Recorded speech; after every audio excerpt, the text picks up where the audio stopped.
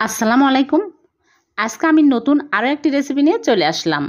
আমি আজকে পাউরুটি দিয়ে ভীষণ মজা করে হাঁড়ি ভাঙ্গা মিষ্টি বানিয়ে দেখাবো। এই মিষ্টি দোকানে তৈরি হয় ছানা দিয়ে। আজকে আমি পাউরুটি দিয়ে ছানার মিষ্টির চাইতেও বেশি টেস্টি করে বানিয়ে দেখাবো। খুবই সুস্বাদু হয় এই মিষ্টি। পাউরুটির যতগুলি মিষ্টি খেয়েছি, তার মধ্যে এই মিষ্টি সব থেকে বেস্ট আশা করছি আপনাদেরও ভালো লাগবে। ভালো লাগলে লাইক কমেন্ট শেয়ার করে দিবেন। তাহলে চলুন রেসিপি শুরু করি। প্রথমে এখানে আমি পাঁচ পিস পাউরুটি নিয়েছি। আর পাউরুটির সাইডে যে ব্রাউন কালার অংশগুলো, এগুলো কেটে বাদ দিয়ে দিচ্ছি। এগুলো থাকলে মিষ্টি ভালো হয় না, শক্ত হয়ে থাকে। সবগুলো আমি কেটে তারপরে মাঝখান দিয়ে কেটে নেব। কেটে ছোট ছোট টুকরো করে নেব এরকম করে। তারপরে এক সাইডে রেখে দিচ্ছি, দিয়ে চুলে একটা প্যান বসিয়ে দিয়েছি। দিয়ে দিচ্ছি লিকুইড দুধ দেড় কাপ আমি আগে জাল দিয়ে নিয়েছি। এখন আমি নেড়ে চেড়ে জাল করে বলক তুলে নিব। দিয়ে দিচ্ছি এলাচের গুঁড়া সামান্য পরিমাণে, তাহলে সুন্দর একটা ফ্লেভার পাওয়া যাবে। আর দিয়ে দিচ্ছি ঘি, এক টেবিল চামচ। এখন আমি নেড়ে চেড়ে নিব। তারপরে দিয়ে দিচ্ছি চিনি, দুই টেবিল চামচ। নেড়ে চেড়ে ভালোভাবে বলকুটে আসছে। এখন আমি দিয়ে দিচ্ছি পাউরুটি। সবগুলো পাউরুটি দিয়ে চুলারা স্লো আছে করে এখন আমি নেড়ে চেড়ে নিব। একটু নেড়ে চেড়ে নিলেই দেখা যাবে যে পাউরুটি সফট হয়ে আসছে। তখন দিয়ে দিচ্ছি সুজি দুই টেবিল চামচ। সুজি দিলে বাইন্ডিংয়ের কাজ করে। এখন আমি নেড়ে চেড়ে ঘন টাইট করে নিব। যখন দেখবেন এরকম পেনের গা ছেড়ে আসছে আর শক্ত হয়ে গেছে, তখনই হয়ে যাবে। এখন আমি চুলা থেকে নামিয়ে নিচ্ছি। চুলা থেকে নামিয়ে একটা প্লেটে তুলে ঠান্ডা করে নেব। ঠান্ডা হয়ে গেছে, এখন আমি ভালো করে মথে নিচ্ছি। একদম স্মুথ করে মথে নিতে হবে যেন লাঞ্চ না থাকে। তারপরে হাত ধুয়ে হাতে ঘি লাগিয়ে নিয়েছি। এইরকম করে অল্প অল্প করে নিয়ে লম্বা চমচমের মতো করে তারপরে একটু চ্যাপটা করে নিচ্ছি। এইরকম করে হয়ে গেল একটা। এইরকম করে সবগুলো মিষ্টি বানিয়ে নেব। একদম মসৃণ করে মিষ্টিগুলো বানিয়ে নিতে হবে। সবগুলো মিষ্টি বানানো হয়ে গেছে।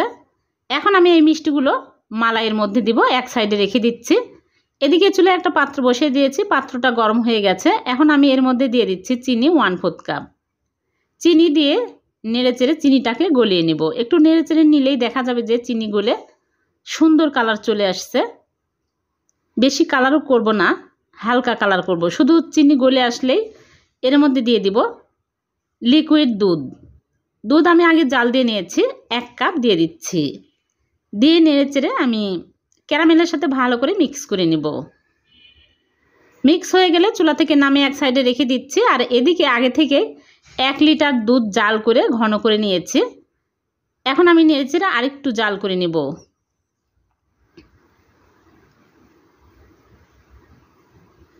দিয়ে দিচ্ছি ক্যারামেল। এখন আমি নেড়ে চেড়ে এর মধ্যে দিয়ে দিচ্ছি গুঁড়া দুধ, দুই টেবিল চামচ। গুঁড়া দুধ দিলে আরও ঘন হবে খেতে অনেক টেস্টি হবে। গুঁড়া দুধ দিয়ে ভালো করে নেড়ে চেড়ে মিক্স করে তারপরে দিয়ে দিচ্ছি চিনি হাফ কাপ চিনি দিয়ে ভালো করে নেড়ে চেড়ে নিব। তারপরে এর মধ্যে দিয়ে দিচ্ছি মিষ্টি। সবগুলো মিষ্টি দিয়ে আমি চুলার আঁচ মিডিয়াম আঁচে করে ঢেকে জাল করব। পাঁচ মিনিট। পাউরুটির মিষ্টি বেশি জাল করা যাবে না, তাহলে মিষ্টিগুলো গলে যাবে। পাঁচ মিনিট পর ফিরে আসলাম, মিষ্টিগুলো হয়ে গেছে।